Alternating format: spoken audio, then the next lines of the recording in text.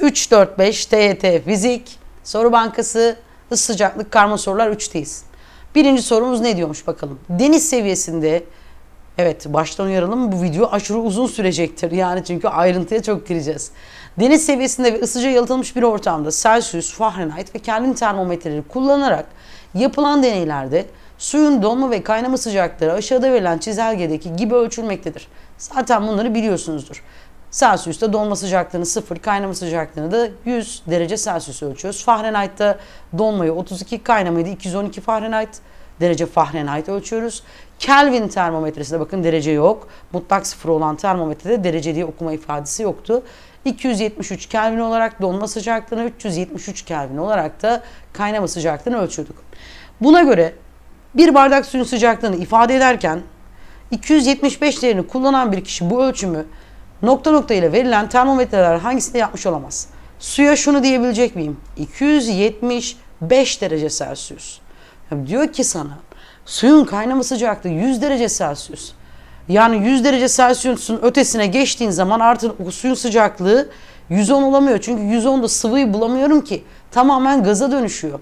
273 pardon 75 derece Celsius sıcaklığında bir suyumuz olamaz. O suyun artık gaz formunu bulabiliriz. O artık su mudur değildir. Dolayısıyla Celsius'u kullanamam çocuklar. Ne ne ne ne bunu kullanamadık. Fahrenheit sana ne diyor? Suyun kaynama sıcaklığını ben diyor 212 derece Fahrenheit ölçüyorum. Elindeki suyun sıcaklığı 275 derece Fahrenheit olabilir mi? Hayır. 275 derece Fahrenheit'ta su artık çoktan kaynamış ve ne olmuştur? Su buharına dönüşmüştür. Gaz haline geçmiştir. Bununla da ölçemem. Peki Kelvin termometresi. Suyun bakın zaten o buz halini ya da işte e, buz sıcaklığı sıfır ve suyun sıcaklığı sıfır olabilir. O biliyorsunuz ara geçiş, geçiş formunda e, madde o hallerde bulunabiliyordu. 273'ten sonrasındaki sıcaklıklara sahip suya su diyorum yani sıvı hali.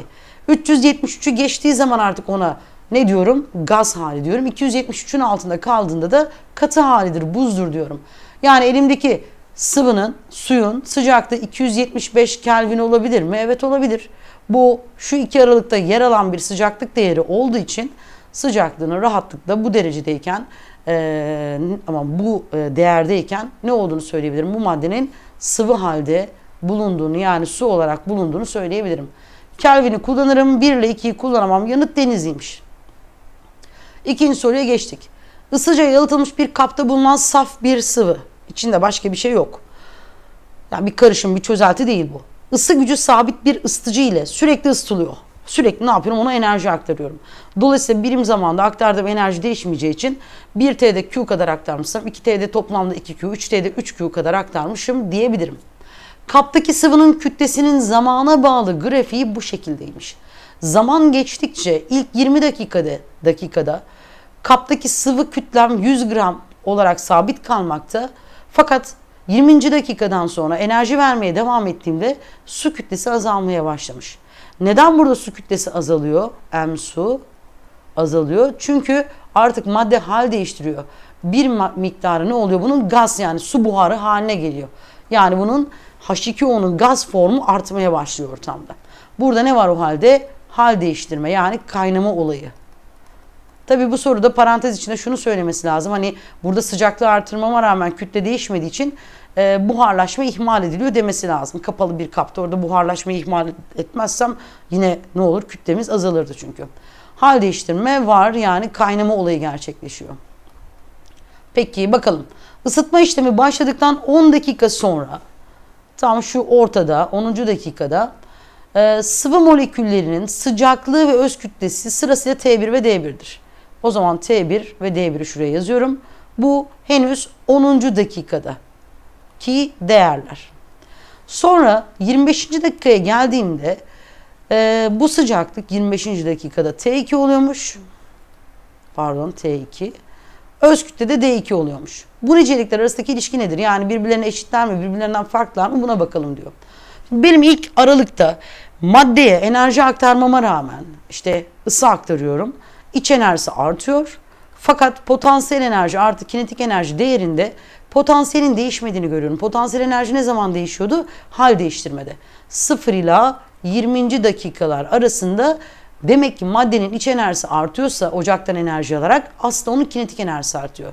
Neden kinetik enerjisi artıyor? Çünkü kinetik enerjinin artma sebebi moleküllerin sıcaklığının artması. Bu bölgede sürekli sıcaklığı artacak. 10 derecedeyken bir sıcaklığa sahip olsun. Sonra arkadaşlar ee, pardon 10. dakikada bir sıcaklığa sahip olsun. Mesela 10. dakikada bu sıcaklığım henüz 80 derece Celsius olsun. Su için o saf suyu sıvıyı da su kabul edelim. Ee, 80 derece Celsius sıcaklığında suyum var. Dakikalar geçtikçe ne olacak mesela 20. dakikada bir bakacağız ki artık kaynama başlayacak. Yani şu 20 dakikayı araya bir yere sokarsam 20. dakikada sıcaklığımız ne olacak? Kaynama işleminin başlaması için 100 derece Celsius'a çıkması lazım. Peki 20. dakikadan sonra kaptaki suyun sıcaklığı ne oluyor? Sabitleniyor değil mi artık? Çünkü hal değiştirmede sıcaklık sabit olmalı. O halde 25. dakika bu sıvının kütlesinin azaldığı bölgeye denk geliyorsa, hal değiştirme bölgesine gel geliyorsa e, gaza geçen molekülleri bırak, kapta kalan o andaki sıvı moleküllere bak. O sıvı moleküllerin sıcaklığı ne olmak zorunda? 100 derece Celsius. Yani T2 andaki sıcaklık T1'den büyük çıktı. Bu ditti. E, bu, bu da ditti. Peki öz kütleye bakalım. Şimdi benim maddem başlangıçta 80 derece Celsius'tayken e, moleküller arası mesafe şöyle olsun. Sıcaklık arttıkça moleküller arası mesafe artıyor. Biraz daha artıyor. Tam kaynama gelince artık bunlar yardırıyor gidiyor gaz hale geçtiği için.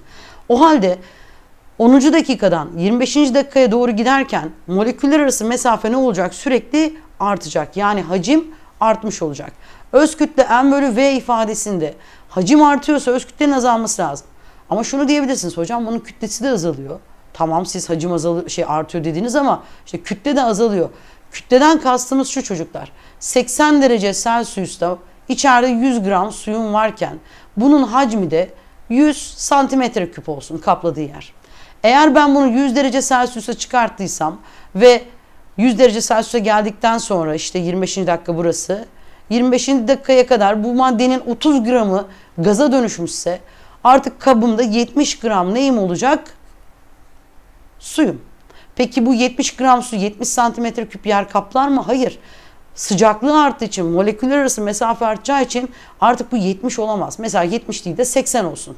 Bu durumda bu sonuç az önce 1 iken şimdi ne oldu bakın 7 bölü 8 yani birden daha küçük bir değere sahip oldu. O zaman benim soğuk suyumun öz kütlesi D1 öz kütlesi sıcak suyumun öz kütlesinden ne olacaktır? Daha büyük olacaktır. D1'de D2'den büyük. E, T2 büyük. Evet cevap ne oldu? Ceyhan olmuş oldu.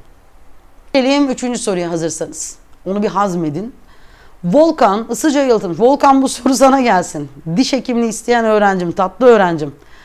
Amacına odaklanmış, vazgeçmeyen çocuğum benim. Kendini bilen, isteklerini bilen çocuğum. Bu soru senin için gelsin. Volkan ısıca yalıtılmış bir ortamda eşit zaman aralıklarında eşit ısı veren bir kaynakla T alanında Q kadar veriyorsa 2T'nin sonunda 2Q, 3T'nin sonunda da 3Q enerji verecek. Isıtılan saf X katı maddesinin başlangıçta X'in katı olduğunu unutmayalım. Sıcaklığının zamana bağlı sütun grafiği şekildeki gibidir. Buna göre yargılarına bakacağım. Bu grafiğe bakarak şuradaki grafiğe bilgilerinden hangilerini elde edebilirmişiz? Volkan acaba hangi bilgilere ulaşacak? Şimdi ben zaman olarak sıfır anında bu maddenin sıcaklığını bilmiyorum. Burada bir sütun falan gösterilmemiş. Ama sonuçta birinci dakikanın içinde bir ölçüm yaptım. Birinci dakikanın sonunda bu maddenin sıcaklığını 10 derece Celsius olarak ölçtüm. İkinci dakikaya geldiğimde aradan bir dakika zaman geçti. Bu aralıkta bizim ısı kaynağımız ne yapsın maddeye Q kadar enerji aktarmış olsun. Sıcaklığı ne oldu artık? 15 derece Celsius'a çıktı. Peki sıcaklık değişimi ne kadar oldu? Kendimi şuraya bir alayım. Sıcaklık değişimi delta T 5 derecelik bir farka eşit oldu. Geldim 3. dakikanın sonuna. 3. dakikada yine bakıyorum totalde şu aralıkta bir Q kadar daha enerji verdim. Maddenin sıcaklığı 3. dakikanın sonunda ne olmuş bakın 20 derece Celsius. Peki buradan buraya delta T ne kadar oldu yine? Delta T 5 derece Celsius arttı e, değişim oldu orada. Dördüncü dakikaya geldiğimde yine 3 ile dördüncü dakikalar arasında ısıtıcım Q kadar enerji verdi. Dördüncü dakikanın sonunda sıcaklığım ne oldu bakın 25 derece Celsius ve sıcaklık değişimim yine ne çıktı ikisi arasındaki fark 5 derece Celsius. Şimdi Q eşittir mc delta T benim formülümdü. Q kadar enerji verdiğimde her seferinde bakın delta T'nin aynı çıktığını görüyorum. O zaman şu pardon kalemim bozuldu. Şurası aynı çıktı. Şu kısımda dolayısıyla ne olacaktır? Aynı olacaktır. Yani maddenin miktarında bir değişim olmuyor. Hal değiştirmediği için e, öz ısısında da bir değişim olmuyor. Burada sadece madde ne yapıyor arkadaşlar? Daha büyük sıcaklık değerlerine doğru gidiyor. Sonra 5. dakikaya geldiğimde maddeye yine Q kadar enerji verdim ama sıcaklığı yine 25 derece Celsius olarak ölçtüm. Delta T ne çıktı? 0. Ya şimdi ben Q kadar enerji verdim. E buraya 0 yazdığında yutan eleman Q 0 mı çıkıyor? Çıkmıyor. Yani burada sıcaklık değişimi olmadığına göre bu noktada ne başlamış? Hal değiştirme olayı başlamış. Hal değişiminde Q enerjim M çarpı L ile bulunuyordu. Buradaki L nedir? Katı maddenin ilk hal değiştirme şeyi e, erimesi olduğu için erime ısısı diye adlandırılıyordu. 1 gram maddenin eriyebilmesi için ihtiyaç duyduğu enerji miktarıydı. E, dolayısıyla 1 gram bu kadar enerji ihtiyacı güderse 1 gramımız bu kadar enerji isterse m gramımız ne kadar enerji ister? m çarpı l erime kadar ki buna ne diyoruz? Maddenin aldığı enerji. 6. dakikaya geldim. Yine Q kadar enerjiyi verdim. 6. dakikada da sıcaklığı hala ne ölçtüm? 25 derece Celsius. Yine delta T ne çıktı? 0. O halde burada da ne yapıyorum? Ben hal değiştirmeye devam ediyorum. Fakat 6'dan 7. dakikaya geçerken bir Q daha enerji verdikten sonra artık sıcaklığımın 7. dakikada 30 derece olarak ölçüldüğünü görüyorum. Buradaki yine delta T ne kadar çıkıyor çocuklar? 5 derece artış olduğu için 5 derece Celsius'a denk geliyor. 8. dakikaya geldim. Yine Q kadar enerji verdim. Ve maddemin tekrar geliyorum sıcaklığına 8 dakika sonunda 35 derece Celsius olduğunu görüyorum. Delta T yine 5 derece Celsius çıkıyor. Peki şu 7. 8. dakika aralıklarında ne oluyor? Madde yine Q kadar enerji veriyorum. MC delta T yazıyorum. Şimdi delta T aynı, Q aynı, MC'ler aynı çıkıyor. Ama oysa ki maddem artık katı halden sıvı hale geçti. Yani bunun dolayısıyla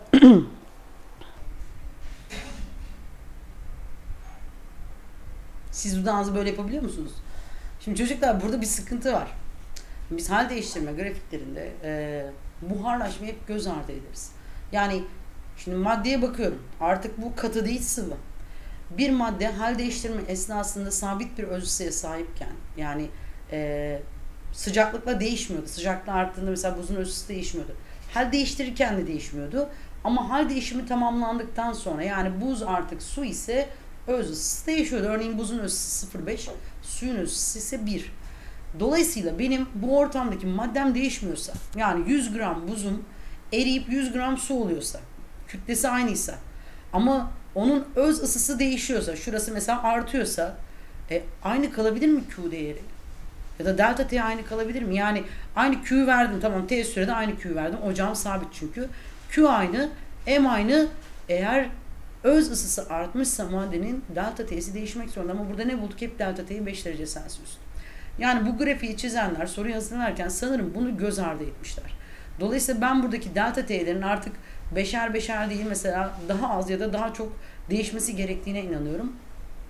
Burada bir sorun var yani.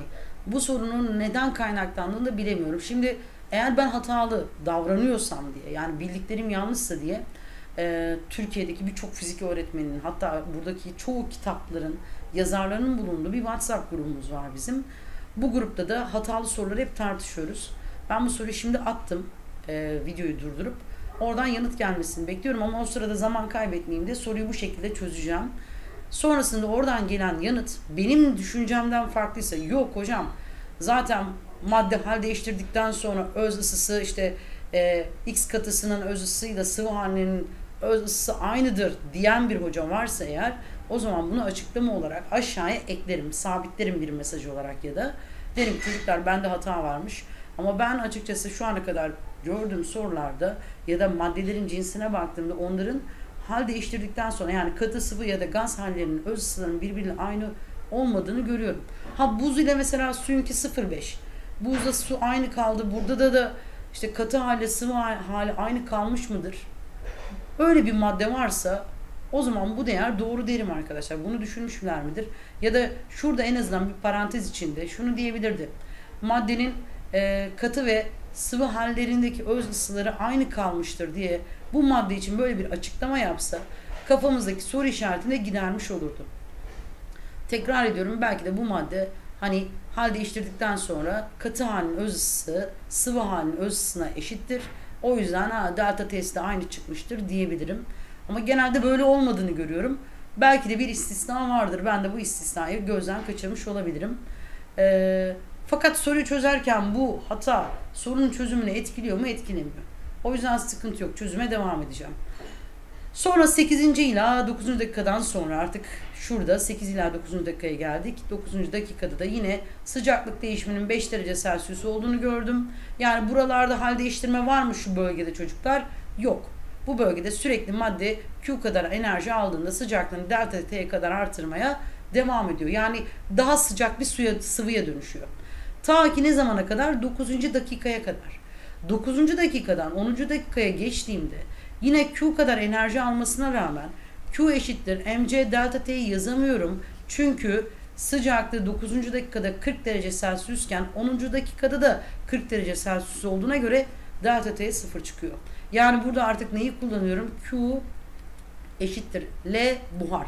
Yani 1 gram maddenin buharlaşması için gereken enerji miktarına L buhar diyorum. O zaman M gramın buharlaşması için gereken enerji miktarım Q kadar oluyor. Madde dolayısıyla şu bölgede ne yaptı? Sıcaklığı değişmediğine göre kaynadı arkadaşlar. Kaynama burada oluyor. Peki burada ne oluyor? 4. ila 6. dakikalar arasında erime olayı gerçekleşiyor. İlk 3 dakikada şu bölgede ne gerçekleşiyor? Suyu ama şeyin e, katının sıcaklığı artıyor. Şu bölgede de sıvının yine sıcaklığı ne olmuş oluyor? Artmış oluyor. Şimdi bakalım hangileri elde edilebilir demiştim. Maddenin kaynama ve donma sıcaklıkları farkı. Kaynama sıcaklığı şuradan okuyabiliyorum. 40 derecede kaynamaya başladı. Ee, peki ne zaman erimeye başladı? 25 derecede. Bu kaynama sıcaklığı. Bu da donma ya da erime sıcaklığı. Aradaki fark 15 derece Celsius ya da evet Celsius cinsinden ölçülmüş. Çıktı mı çıktı. Bunu buradan elde ettim. Maddenin katı haldeki ısı sığısı. Şimdi Q değerini bilmiyorum. Ben zamanı biliyorum. Yani Q'yu bilebilseydim işte Q 100 kaloridir deseydim. Sıcaklık değişiminde 5 derece Celsius ise 100'ü 5'e bölerek MC'nin 20 olduğunu bulabilirdim. Ama burada Q değeri sadece oran olarak yazdım. Q, Q, Q dedim. Q bilinmediği için delta T'yi bilsem bile MC değerini ne yapamam bilemem. Bu maddenin ısı sırasını bilmiyorum katı haldeki. Sıvı haldekini de bilmiyorum. Maddenin kaçıncı dakikada kaynamaya başladığını görebildim mi bu grafikten? Evet 9. dakikada artık sıcaklık 40 derece Celsius'a geldikten sonra ne yapmaya başladı? Kaynamaya başladı. 3'ü de öğrendim. Yani yanıtımız 1 ve 3 oldu. Sanırım onu çok dikkate almamışlar. Önemli de değil soruyu çözmek için en azından. Ama işte ayrıntılara dikkat etmek lazım bazen. Gelelim dördüncü sorumuza çocuklar. Atmosferdeki sera gazının artması sonucu dünya normalinden daha fazla ısınmakta olup ortalama sıcaklığı artmaktadır. Bakın 1860 yılından bu yana e, dünyanın yani yer kürenin sıcaklığı 0,5 ila 0,8 derece Celsius arttı yaklaşık olarak bugüne kadar. 2000'li yıllara geldik işte 2020 diyelim. Önümüzdeki 100 yılın sonunda yani 2100. yıla geldiğimizde bu değerin bir 2 derece Celsius daha artması bekleniyor. Yani bakın sadece 150 yaklaşık 150 yılda 0.5 artarken zaten artmış o haliyle biz şu anda etkileniyoruz. Bir de aradan 80 yıl geçtiğinde bu değişim üstüne 2 derece Celsius daha artarak korkunç bir hal alacak dünya. İklim o kadar değişecek ki arkadaşlar yaşamak çok zorlaşacak. Küresel ısınma dolayısıyla çok kötü bir şey. Bunun farkında değiliz. Yani bizim için 80 yıl çok bir zaman gibi gelebilir. O zamana ben şimdi ama benim çocuğum o yaşlarda 80 yani 2100 yılında ne olacaktır? Daha 40-50 yaşında bir insan olacak ya da işte 80 yaşında şu an doğursam. Yani sonuçta sizin çocuklarınız diyelim. Sizin çocuklarınız 40-50 yaşındayken korkunç bir iklim değişikliğiyle yüzleşecekler. Ve bu onların yaşam kalitesini çok düşürecek. Toplu ölümlere neden olacak belki. Bu ölüm illaki insan ölümü olmak zorunda değil. Hayvanlar da ölecek, bitkiler ölecek arkadaşlar. Korkunç, gerçekten korkunç. Bunun keşke farkına varsak. Oysa ki bunun önüne geçmek o kadar kolay ki. Şimdi sera gazı dediğimiz şey nedir? Atmosferde belli gazlar arkadaşlar e, var. Mesela işte karbondioksit, metan gazı. Bu gazların sayısı arttıkça yani miktarı arttıkça e, yer kürenin sıcaklığı artmak zorunda kalıyor. Yani orayı böyle absorbe ediyor, tutuyor onu. Dolayısıyla bu sıcaklık artışı sonucunda benim e, tatlı su dediğim içme suyum ne oluyor arkadaşlar? Buharlaştıktan sonra tekrar kar şeklinde yığıp dağların eteğinde birikemiyor. Çünkü dağ et, o dağın tepesi yüksek sıcaklık sebebiyle kar yağışının önüne geçiyor. Kar yağışı azalırsa eğer e, ne olacaktır? O su tekrar tatlı su olarak yeraltı kaynaklarına karışmayacaktır. Yani bu çok kötü bir şey. Bizim mesela su dünyadaki su sayısına bakarsak yani oran olarak verirsek yüzde arkadaşlar 97,5 bunun tuzlu su.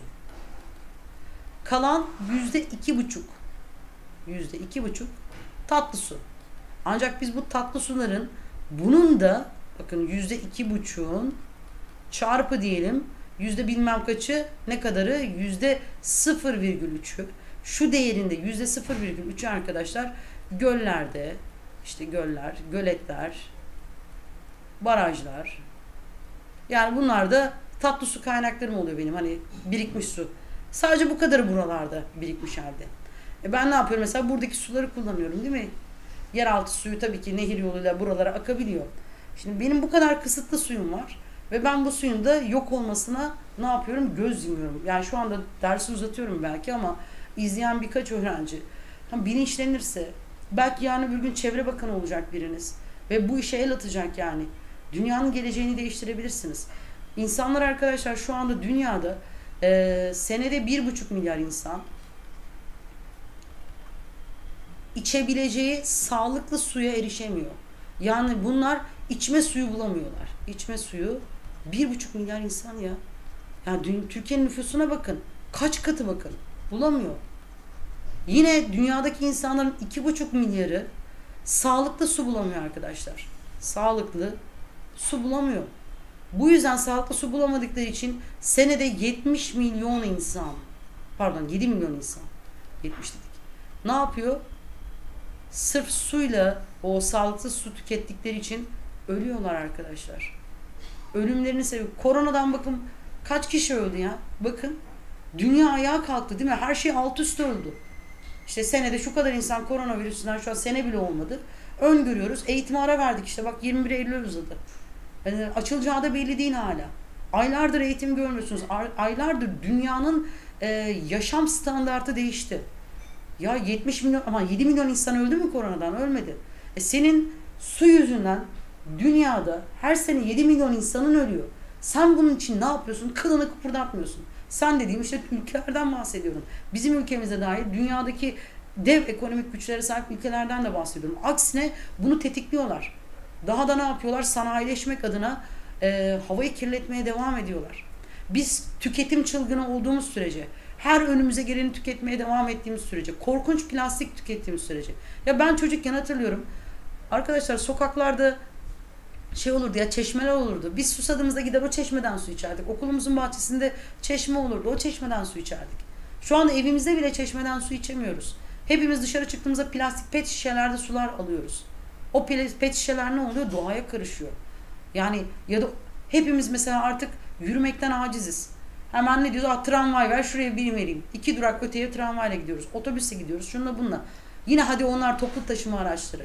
Artık kişisel anlamda bisiklet kullanımı o kadar az ki. Yani İzmir'de yine kullanım fazla ama dünyaya baktığımızda bisikleti çok az kullanıyoruz biz. Yürüme eyleminden uzaklaştık. Neden? Çünkü artık büyük şehirlerde iş yerimizde evimizin arasındaki mesafe bazen 40-50 kilometre. İstesek de yürüyerek ya da bisikletle gidemiyoruz. Şehir büyüdü, genişledi. Genişledikçe ne oluyor bakın e, bir yerden bir yere ulaşmak zorlaşıyor. Toplu taşıma araçları yetersiz olduğu için ne yapıyor herkes? En kısa sürede yolda kendi aracımla gidivereyim diyor. İnsanların hepsi kişisel otomobillerini kullandıkları için e, fosil yakıtları kullandığımız için, elektrik enerjisiyle çalışan araçları kullanmadığımız için salınan sera gazı ne oluyor artıyor. Bu da dünyanın sonunu getiriyor aslında. Yani bence sıcaklık konusunda MC delta T'leri geçip gerçekten Milli Eğitim Bakanlığı'nın bu kazanıma aşırı derecede önem vermesi gerekiyor. Sizler bilinçlendiğinizde, insanlar bilinçlendiğinde bu gidişe bir dur diyeceğiz. Ve yakında bakın çok daha kötü sonuçlarla karşılaşacağız. İklim değişikliği diyoruz. İşte kar yağışı sona erecek. Yağmur olarak aktığında işte buharlaşan nem oranı artacak. Artık nemden İzmir'de bir yaşayanlar bilir. Nem bizi boğucu hale getiriyor. Bunun 2 derece Celsius artması ne demek biliyor musunuz? Yani çok büyük bir değer aslında o.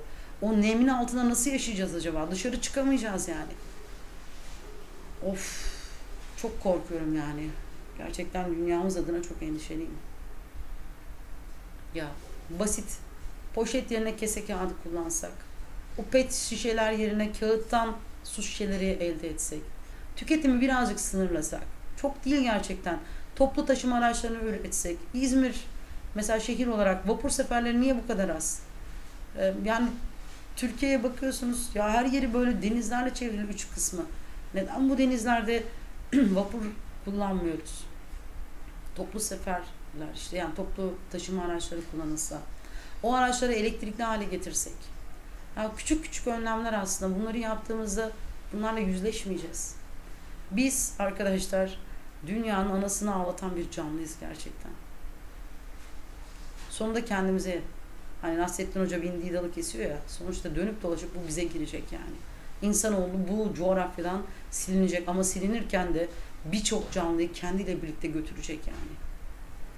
Evet, küresel ısınmanın sonuçları ile ilgili yargılarından hangileri doğrudur?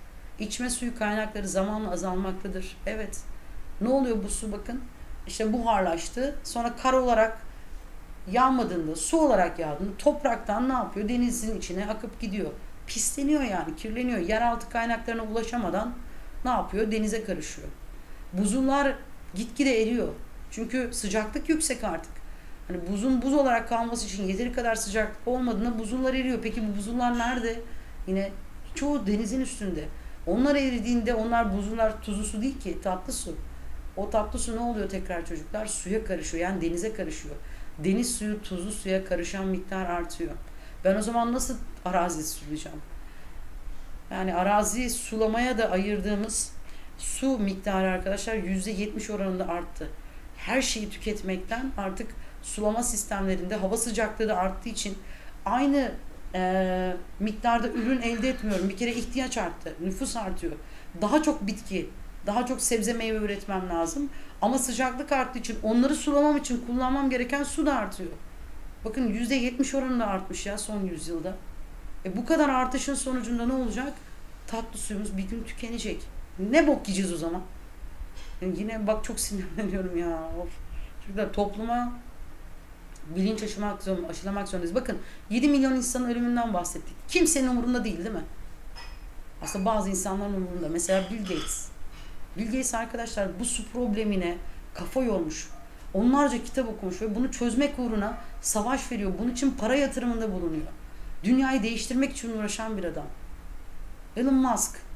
O da elektrikli araçlar üreterek yine bu değişimi küresel ısınmanın önüne geçmeye çalışıyor.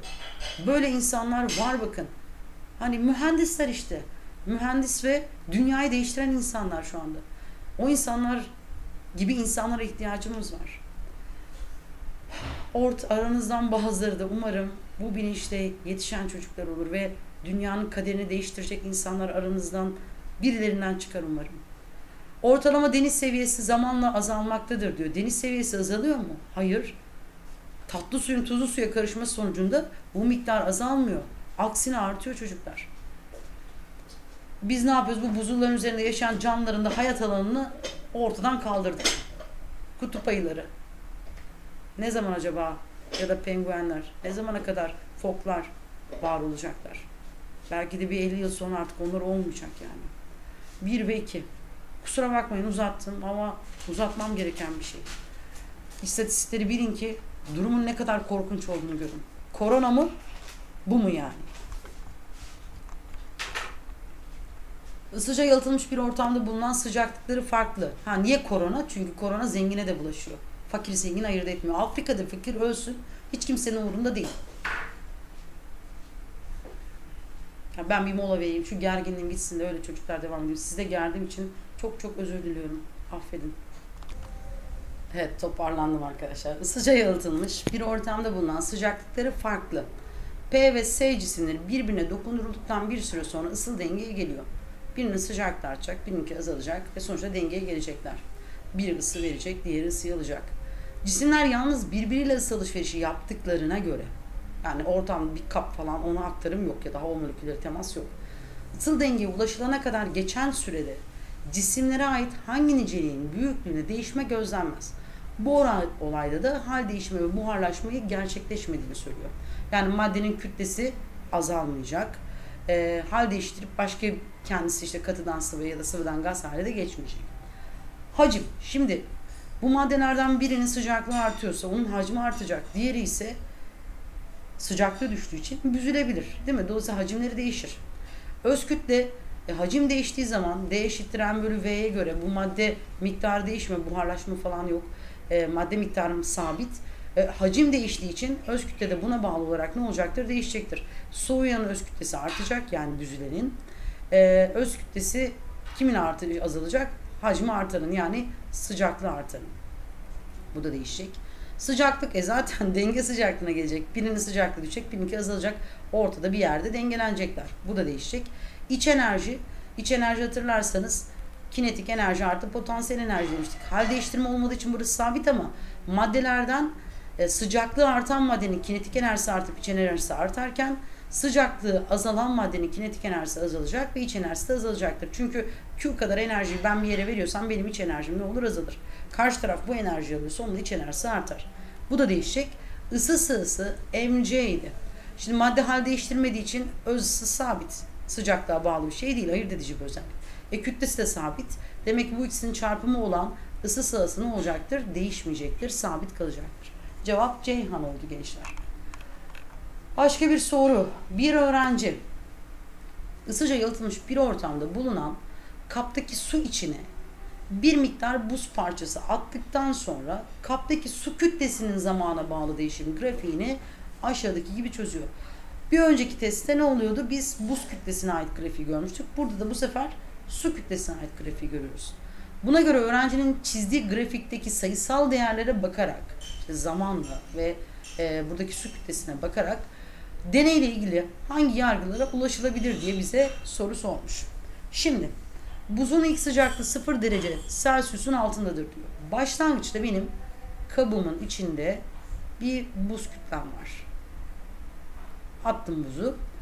Ve su kütlesi ilk başta ilk 4 dakikada değişiyor mu çocuklar? Değişmiyor.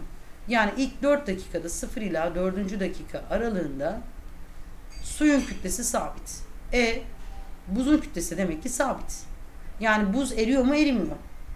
Peki bu nasıl olabilir? Başlangıçta ikisinin sıcaklığı eşitse mesela ikisi de 0 derece Celsius'ta su ve buzsa evet böyle bir şey olabilir. Ama grafiğin devamına bakalım.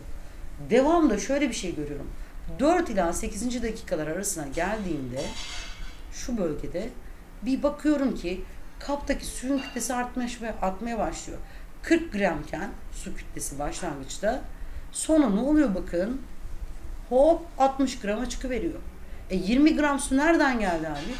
Tabii ki buzun erimesi sonucunda. Bu buz bir miktar ne yaptı eridi. Daha küçük bir hacimde çizeyim artık bunu.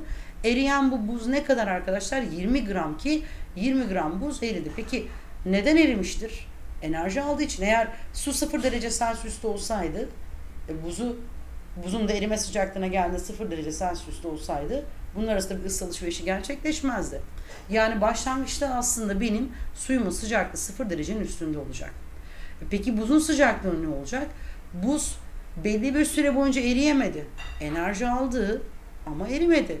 Çünkü buzun sıcaklığı henüz erime sıcaklığına ulaşmadı. Yani buz en başlarda şöyle bir grafik çizersem örneğin eksi 10 derece Celsius'ta bir buzun var kapta ve ne yaptı? Sudan enerji aldı, aldı, aldı 4 dakika boyunca. 4 dakikanın sonunda kendini 0 derece Celsius'ta buza dönüştürdü. Sonra 4 ila 6 8. dakikalar arasında ne oldu? Bu buz erimeye başladı. Eridiği için Zamanla buzun kütlesi azaldı ve suyun kütlesi bu bölgede arttı. Suyun hala bu buzu eritebilmesi için buza enerji aktarıyor olması lazım. Bunun için de sıcaklığının hala 0 derecenin üstünde bir değerde olması gerekiyor. Yani şu bölgede buzun sıcaklığı sıfırın altında, suyun sıcaklığı sıfırın üstünde. Bu bölgede artık buz hal değiştiriyor. Buzun sıcaklığı 0 derece Celsius ama ona su hala enerji verebiliyorsa sıcaklığı sıfır olamaz. Olsaydı e, ne olurdu? Eşit sıcaklıktaki maddeler arasında enerji alışverişi olmazdı. Suyun sıcaklığı bu bölgede 0 derecenin üstünde. Sonra ne oldu? 8 ila 12. dakikalar arasında baktım kaptaki suyumun kütlesi artmıyor. Şimdi bu şöyle olabilir. Ya buzun tamamı erimiştir. Elimde hiç buz kalmamıştır. Dolayısıyla kaptaki su kütlesi sabit kalmıştır. Ya da buzun mesela biraz daha erimiştir ama o işte mesela 10 gram daha kapta gerçi hayır 60 gramda sabitlendi. Evet. Ya da şu olabilir. 60 gramda sabitlendiğine göre artık daha kapta hiç buz kalmadı ve benim bütün buzum eridi. Topu topu 60 gram suyum oldu. Ya da şu olabilir. Kapta artık ısıl denge sağlanmıştır. Yani suyun 8. dakikanın sonunda bir olasılıkla bir olasılık bakın olasılık 1 olasılık 2 8. dakika için diyorum bu. 8. dakika anında tamamen buz erimiş olabilir ve hiç buz kalmadığı için artık denge sağlanmış olabilir. Ya da 8. dakikada kapta hala mesela 10 gram buz olabilir. Ama artık benim suyumun sıcaklığı da 0 derece Celsius'a düşmüştür. Buzun sıcaklığı zaten 0 derece Celsius'ta artık şu bölgede. E, dolayısıyla aralarında ısı alışverişi artık ne yapar? Sona erer. Yani sudan buza enerji aktarılmadığı için buz erimeyi keser. Der ki tamam arkadaş ben burada sabitlendim. Kapta artık ne olacaktır? Buz kütlesi sabit kalacak, su kütlesi de sabit kalacaktır. Isı alışverişi sona erdiği için erime olayı gerçekleşmeyecektir. İki olasılığım var. Buzun ilk sıcaklığı 0 derecenin altında mı? Bundan eminim. Bunda sıkıntı yok. Az önce yorumladık. Yoksa ne yapmazdı? Belli bir süre sonra erime işlemine başlamazdı. Doğrudan erirdi. 4 ila 8. dakikalar aralığında şu bölgede suyun sıcaklığı azalmıştır diyor. Su sonuçta enerji vermeye devam etti mi? Etti. O enerji veriyorsa 0 derecede değil sıcaklığı işte ne dedik 10 derece 20 derece hala sıfırın üstünde enerji verdiği zaman mc delta t'ye göre sıcaklık değişiminin olması lazım. Yani sıcaklığın azalması lazım. Bu da doğru. Ee, ne demişti başka? 12. dakikada buzun tamamı erimiştir. Ne dedik bakın? Şu bölgede yorum yapamıyoruz dedik. Belki o 8 ila 12. dakikalar arasında kaptaki buz ve suyun kütlesi artık şeyi sıcaklığı 0 derece Celsius'tur. Isı alışverişi bittiği için bardağımın içinde su buz karışımı vardır. Ya da tamamen artık benim hiç buzum kalmamıştır. Tamamen kapta su vardır. Suyun da dolayısıyla eriyen bir buz olmadığı için kütlesi ne olabilir? Sabitlenmiş olabilir. Buna ulaşabildim mi? Hayır ulaşamadım. Dolayısıyla yanıtım ne oldu? 1 ve 2 Ceyhan oldu. Umarım açıklayıcı olmuştur arkadaşlar. Yedinci soruya geldim. Basit, eğlenceli bir soru. Bir öğrenci boyları ve kalınlıkları şekildeki gibi olan demir ve bakır çubuklarının bir ucuna özdeş tereyağı parçalarını yerleştiriyor.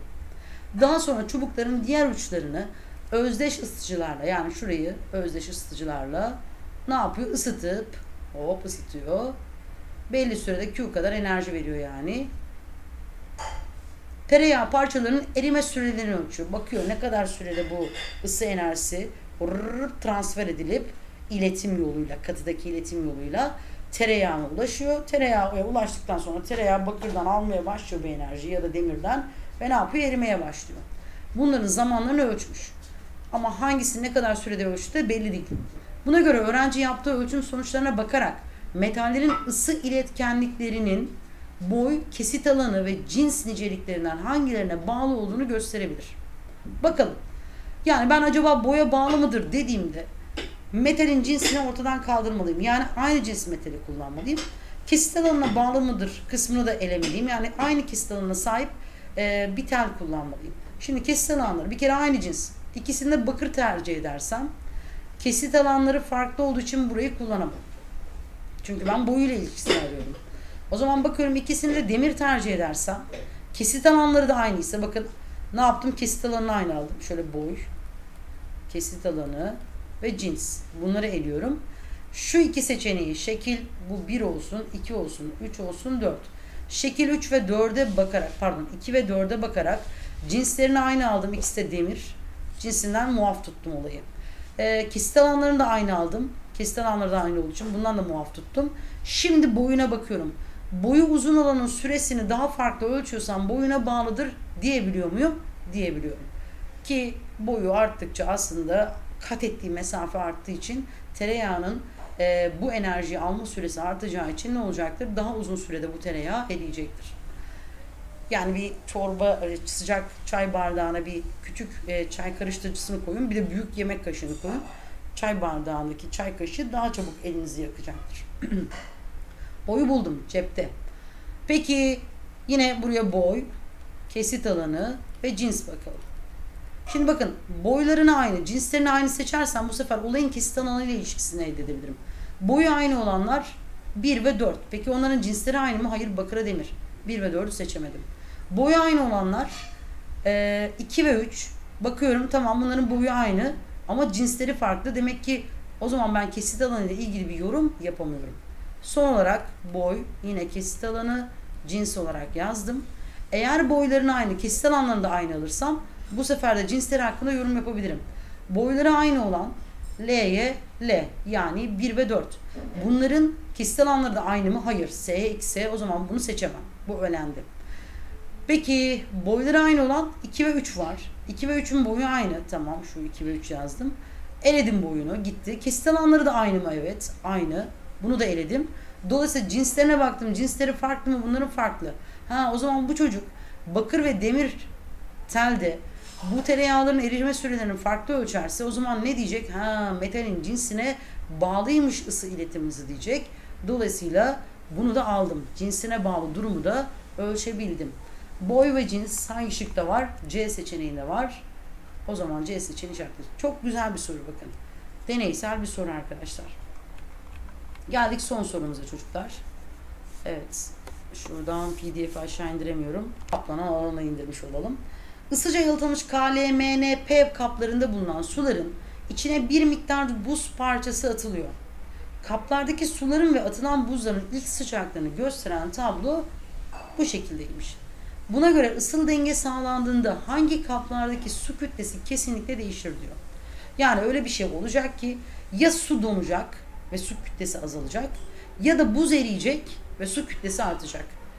Tekrar ediyorum buz eriyecek. Böylelikle toplam su kütlem artacak. Ya da su donacak.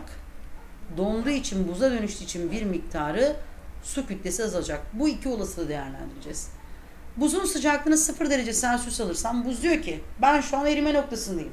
Bana en azıcık birazcık bile enerji versen ben eririm diyor. E, suyun sıcaklığı 0 derece olsaydı ben derdi ki sana enerji falan veremem. İkimizin sıcaklığı aynı. Ama suyun sıcaklığı sıfırdan fazla. Yani dolayısıyla sıcak maddeden soğuk maddeye enerji akışı olur. E bu madde buna enerji verirse buz aldı bu enerjiyle hemen erime noktasında olduğu için erimeye başlar. Erirse buzun kütlesi ne olur? Buradaki buzun kütlesi azalır. Suyun kütlesi ne olur çocuklar? Artar. Demek ki K'yı aldım. Eksi 2 derece Celsius'ta bir buz var.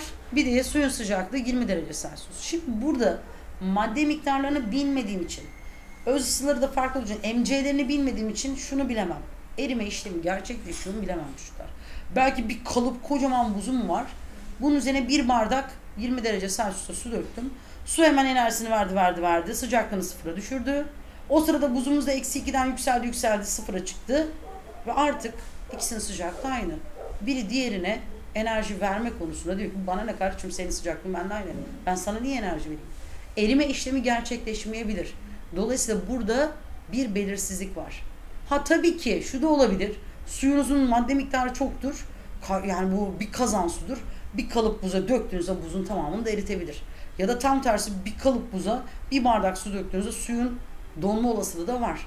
Ama bize ne diyor? Kesinlikle değişir diyor. Üç olasılık olduğu için bunu alamadım. Şu L'leri bir eleyelim. M'ye bakalım. 0 derece Celsius'ta buz ile 0 derece Celsius'ta su. Bunlar zaten ısı alışverişi yapmaz ki. Denge sıcaklığı zaten bu. Kimse kimseye enerji vermeyecek. Hem buzun kütlesi sabit kalacak hem de suyun kütlesi sabit kalacak. Kesinlikle burada da bir şey yok.